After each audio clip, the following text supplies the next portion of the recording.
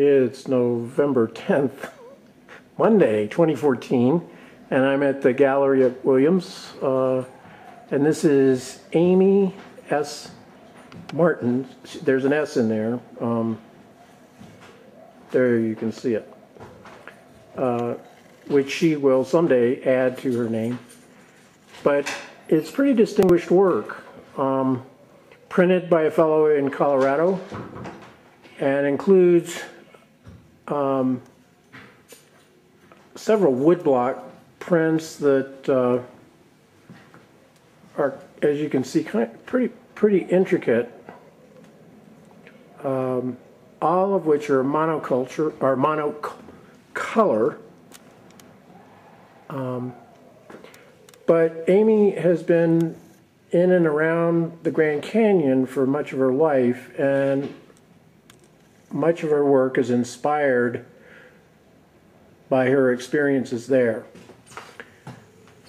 And she's uh, recently uh, come to this gallery uh, only in the last couple of months, and she's going to talk about her work now. Okay, hi, um, my name is Amy S. Martin, and the S stands for Susan. That was my mom's name, and uh, she um, she passed away a couple years ago, and she was an amateur photographer, um, and um, and so I've tried to bring her energy into some of my work, um, as well as my love for northern Arizona and the outdoors, and so. What I have here is a selection um, from Grand Canyon.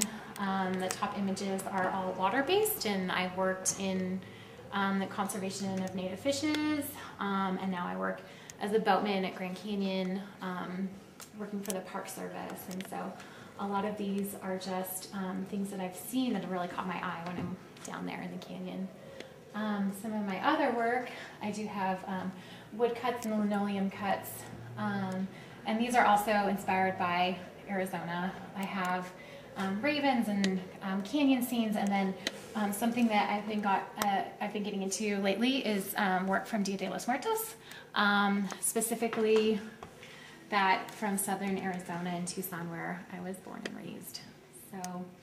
Thank you so much. Yeah, thanks. And uh, tell me a little bit about your development work in the Dominican Republic, please. Okay, yeah. So I also um, I've been really passionate about doing um, development work both um, in conservation and humanitarian work. And I was a Peace Corps volunteer in Dominican Republic for two years from 2008 to 2010. And I've gone back every year since, um, working for different organizations and helping promote nonprofits. And one of the projects that I'm currently doing is um, I am going to create a portrait show of stateless people that were denied rights um, in Dominican Republic, and those are mostly of Haitian descent that are living in some of the most extreme poverty in um, in the Western Hemisphere. And so I have a Kickstarter site um, up.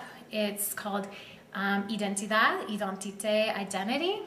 Um, and so you can go to Kickstarter and look that up if you want to, or you can go through my blog or my website, and my website is amysmartinphotography.com. Um, so thank Excellent. you. Thanks so much. Thanks.